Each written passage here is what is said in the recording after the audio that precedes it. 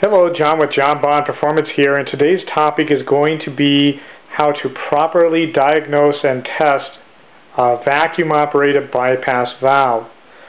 First, some uh, topics of information. Jon Bond Performance is a world leader in remanufacturing superchargers and rebuilding them. We also offer a very large online parts store. Um, most consumables, I should say almost all types of consumables and repair kits for your supercharger. The best way to contact us is by email. Uh, we tend to receive uh, many phone calls throughout the day, and email is going to assure that uh, that you hear from us. Uh, if it's urgent, then yes, please call us. But uh, uh, by all means, email is going to make sure we have thorough contact, and we have no problem dealing with international business. we export and uh, and with that said, let's get to the topic. Uh, uh, bypass valves basically come in various sizes and shapes, and I have one here from a Whipple supercharger. I'm going to show you how it works here in just a little bit. And uh, but what I want to do is show you how to properly test a failed bypass valve. So let me remove this here.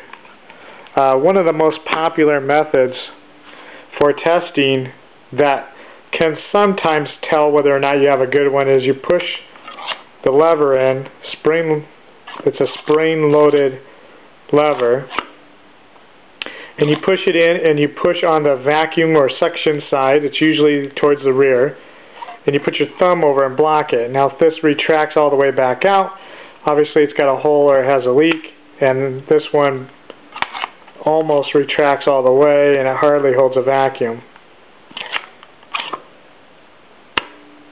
Whereas this one, now it has two ports.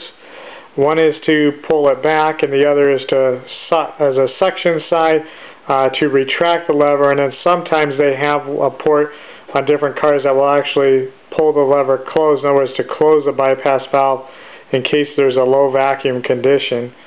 Okay, so what I'm going to do is I'm going to show you, I'm going to push this lever all the way in, block the suction port, and watch when I let go. Okay, the lever actually comes out. This is a good one. Alright, so now back to this failed unit. I have a brake bleeder vacuum pump kit. It's nothing fancy.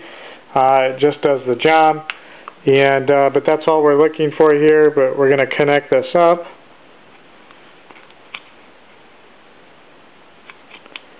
Well, if I can get it. There we are. Nice tight seal. And what I want you to do is watch in correlation. We're going to be able to draw a vacuum on this, and it's going to work when mounted on a car. But I'll show you why it's no good. Build up a vacuum here up to 15. Okay, it's working, it's functional, it's opening and retracting, but notice the gauge. It's dropping. And the reasoning for that is this has a small pinhole in it, so this would be like a vacuum leak on your car. While this will open and retract, uh, functionally, it's not going to uh, work properly on a car simply because you have a vacuum leak. And then what happens is your, if your tuner doesn't catch it, then he has to tune around that and uh, basically he'll add more fuel to your car. Then what happens if you add something like this in later and correct the problem, all of a sudden you start having a rich condition. So it's always important when you go to tune a car that everything is just functionally working. So now this is obviously not a severely failed unit. Most of the time you can't even pull a draw on it. In fact, I'm going to poke a, a big hole in it so you can see what I'm talking about. But you can see this unit continues to drop. Now on a car, again, it will still work. So if you were to look under the hood, you go, yep, my valve's working, but in essence, it's actually no good. All right? I'm going to show you how a good one will work. So you can sit here and watch this lever.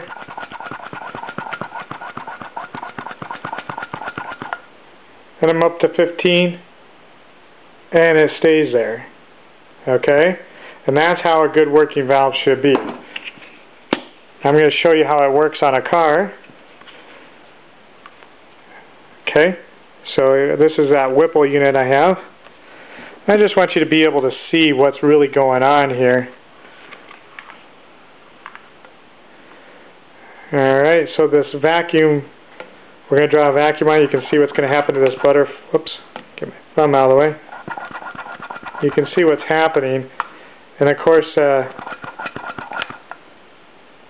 has to hold that vacuum there to be functionally proper. Alright? Now I'm going to poke a hole in this bad bypass valve just so you can see what I'm talking about. Let me grab an awl. Alright, we're going to completely make this thing fail now. Uh, boy, that's a tough one. There we go. Got a hole in it now. So now this is usually where most people would replace them because if I push my finger in, I mean it does nothing. And if it was on their car, it would do nothing. Let me get that on there.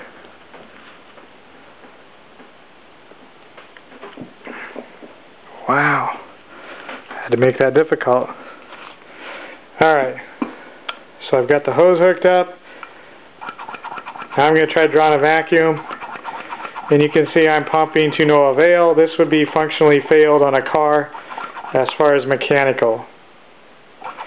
So uh, you can see that it's important to have one of these devices to physically test uh, the uh, worthwhile value of, of, a bypass valve. This is a good contributing uh, part to failure of superchargers on a car. That's why I felt it was important to talk about it. Many times people don't send their bypass valve in with it. I highly recommend it. We'll test it for free if it's coming in here with a supercharger repair. I mean, we have no problem uh, testing this and we'll be carrying various types on our website for replacement. And uh, uh, a key to helping you replace these is sometimes there's a VA number down in here that's stamped. Uh, you just look for the right VA number. You look at the shape of the bracket and the shape of the lever whether it's towards the bracket or away from the bracket. And then another thing that can change or be different is how many ports? Now it's not really important how many ports are on there, but where is the port in relation to the bracket? Because there might be clearance issues. Now it's not critical where it is if there's no clearance issues, but if you've got an intake down here and something here, it's critical that this piece be pointing up instead of down. And uh, an example would be like this one. This one points down, whereas this one points up. Okay? So placement of, of this can be critical if you don't have good clearance issues. Um, and then the shape of the bracket, what you're usually looking for are the two mounting hole patterns. As you can see, this one is circular, got a circular hole in it. Um, this one is very similar to this one, and uh, functionally they do the same thing. I'm going to be carrying various sizes of these on my website over the next uh, four to six weeks, everything should be on there. But uh, I'm going to try starting to carry all of these types of bypass valves for you. Um, I have some used ones; they'll be price reduced, but uh, almost all of them will be uh, uh, news, and uh, they all come with warranties, even the new and used ones. So I hope you found this article informational for you. Good luck, have fun, happy boosting.